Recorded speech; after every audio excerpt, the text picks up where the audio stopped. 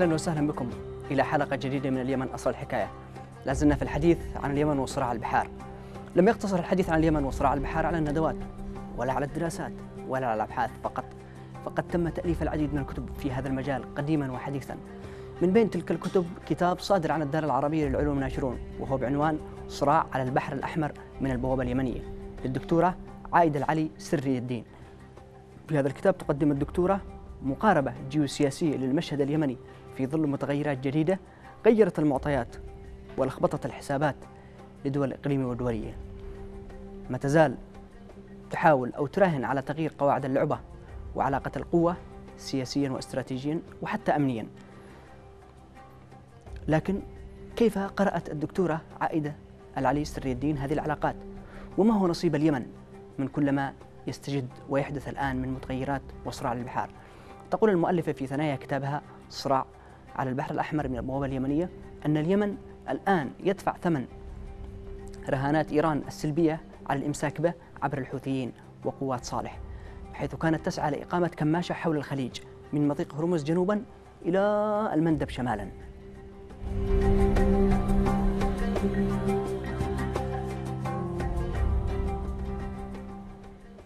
يتألف الكتاب من خمسة فصول مهمة. يبدأ أولها بإلقاء الضوء على العلاقات الخليجية الإيرانية. في مواقف النخبة الخليجية والتي تمثلت في أربع اتجاهات ذكرتها المؤلفة مرورا بأمن مضيق باب المندب ومصالح الدول الكبرى في منطقة الخليج وإمكانية الدول العربية في تأمين أمن البحر الأحمر خاصة اليمن والسعودية. موضوع البحث أيضا في الكتاب تطرق إلى هذه النقطة. أما في الفصل الثالث فيلقي الضوء على أزمة اليمن وعاصفة الحزم وحرب اليمن الخيار الصعب. وفي الفصل الرابع تبرز الحاجة لمبادرة عربية لحل أزمة اليمن. وعن دور أيضا الأمم المتحدة ومجلس الأمن. ومسائل أخرى شائكة ذات صلة. يحمل الفصل الخامس الموقف الإيراني المتشدد في اليمن. وخوفه أيضا على سوريا وخفايا الاتفاق النووي والقرار 22 16 وأيضا خريطة ظريف لتعافي اليمن. ويأتي الفصل السادس والأخير ليبحث عن الأمن بعد الحزم والأمل. وقضايا خلافية لن تنتهي حرب اليمن إلا بإنتهاء أسبابها. في كتاب أيضا آخر مهم جدا وهو كتاب الصراع على البحر الأحمر حقبة ما قبل العام 1980 أعده العميد الركن الدكتور محمد صبحي الحجار وهو لبناني دكتوراه في التاريخ وإجازة في إدارة الأعمال من الجامعة اللبنانية. أشار إلى الخلفية التاريخية والأسباب الجغرافية عبر التاريخ وأساس الصراع في البحر الأحمر. فمنذ زمن مغل في القدم وقع البحر الأحمر وعرب شبه الجزيرة العربية في خضم الصراع الدولي بين القوتين العظمى في تلك المرحلة قوى القرب الزاحفة إلى الشرق المتمثلة بالإسكندر ثم روما وبيزنطة وبيزنطة ومن ثم أيضا قوى جديدة في الشرق من بينها آه، دولة إيران وأيضا آه، أشار بشكل ذكي جدا إلى الإرث التاريخي المتعلق بالساسانيين وأيضا أشار إلى التاريخ الحديث والمعاصر وكيف بقاء البحر الأحمر عنصرا مهما في الصراعات المحلية والدولية للسيطرة عليه. فكان في بداية القرن السادس عشر هدفا لمشاريع البرتقال التجارية والاستعمارية وفي أواخر القرن الثامن عشر أصبح محط أنظار نابليون. وبعد افتتاح قناة السويس في العام 1869 وقع البحر الأحمر مباشرة تحت تأثير سياسات دول أوروبا الاستعمارية التوسعية في حين وهي بريطانيا فرنسا وإيطاليا. لكن خروج الولايات المتحدة والاتحاد السوفيتي من الحرب العالمية الثانية كدولتين من الدول العظمى جعلهما يحلان مكان هذه الدول الاستعمارية تدريجيا في الشرق الأوسط ويدخلان في نطاق الصراع والتنافس على البحر الأحمر لتجسيد نفوذهم في هذه المناطق والاستفادة من مزاياها الاستراتيجية والسياسية والجغرافية والاقتصادية. للبحر الأحمر العديد من الميزات الجغرافية ما جعله محط أعيان صراع صراع البحر. يعتبر البحر الأحمر بشكل عام مضيقا طويلا يمتد من باب المندب في جنوبه الشرقي وخليج السويس في شماله الغربي. ويبلغ طوله ما بين هاتين النقطتين حوالي 1200 ميل. ويشكل خليج العقبة الطرف الشمالي الشرقي للبحر الأحمر. نقطة مهمة ويبلغ طوله 110 ميل وعرضه بين ثمانية وعرضه أيضا آه، يصل إلى ثمانية. أما أعمق نقطة عند الوسط فتصل إلى حوالي 4600 قدم.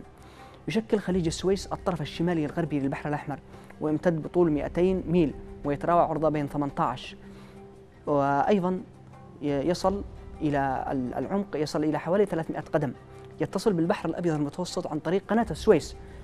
وتقع عند مدخلة جزر أم القمر وشدوان وجوبان.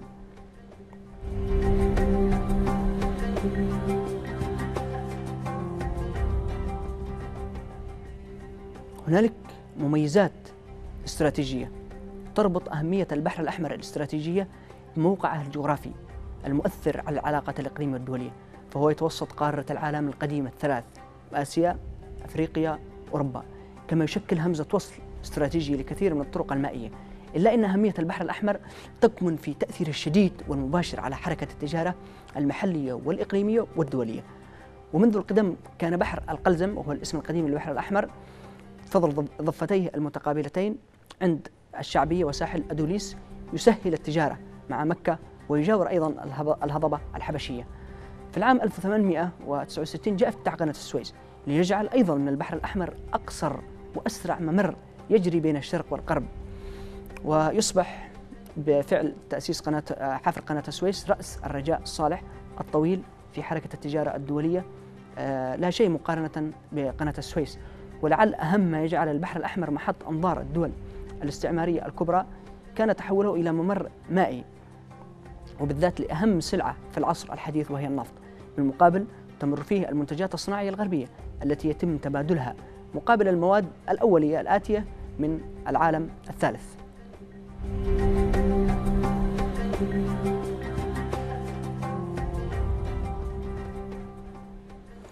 أما من الناحية السياسية وهذه نقطة مهمة جدا فقد كان البحر الأحمر هدفا حيويا يدخل في سياسة الدول الكبرى والشعوب المطلة عليه.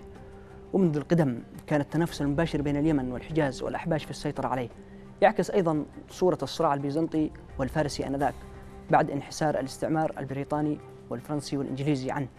أصبحت مصالح بعض الدول المطلة عليه مثل اليمن السودان الأردن أرتيريا مرتبطة حصريا به كمنفذ بحري وحيد تطل منه على العالم. بينما دول أخرى مشاطئة له تمتلك منافذ بحرية أخرى مثل السعودية مصر وفلسطين المحتلة. لكن الأهمية السياسية والقومية للبحر الأحمر تكمن في وقوعه في قلب كتلة سكاني من سبع دول عربية تشرف عليه وهي اليمن السعودية الأردن الصومال جيبوتي السودان مصر. تمتد على نحو حوالي 90% من سواحله وهذا ما يجعله عاملا مؤثرا وحساسا في ميزان القوى والسياسات الدولية. أما الدولتان غير العربيتان المشرفتان على سواحله فهي أثيوبيا وأرتيريا. تم إدخال العديد من المشاكل على البحر الأحمر. مشاكل سياسية مشاكل اقتصادية مشاكل عسكرية. ومن خلال أيضا إطلالة وجود عامل خارجي داخلي دخيل على المنطقة وهي إسرائيل وخصوصا على خليج العقبة واستيلاء التوجه الاشتراكي على الحكم في أثيوبيا في العام 1977 للتوسع في هذه الحلقة هنالك المصادر المهمة جدا وهي كتاب الصراع على البحر الأحمر. حقبة ما قبل العام 1980 عده الدكتور محمد صبحي الحجار. أيضا كتاب صراع على البحر الأحمر من البوابة اليمنية الدكتورة عائدة العلي سري الدين. نذهب وإياكم لمشاهدة مناظر من البحر الأحمر مصحوبة بالأغنية الشهيرة وصياد قبل غروب الفنان اليمن الخالد محمد مرشد ناجي. ودعكم على طريقة التحية في الحضارة اليمنية القديمة. بسم الرحمن بدأنا. بسم الرحمن ختمنا. والسلام على حضارة حمير وسلام يطلع في رزقك جديد.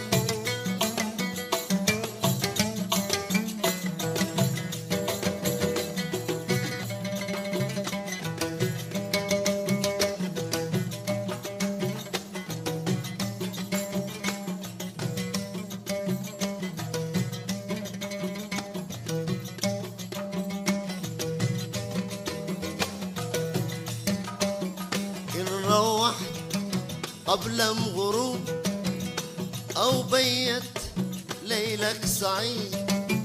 إن روحت قبل غروب أو بيت ليلك سعيد. إن روحت قبل غروب أو بيت ليلك سعيد.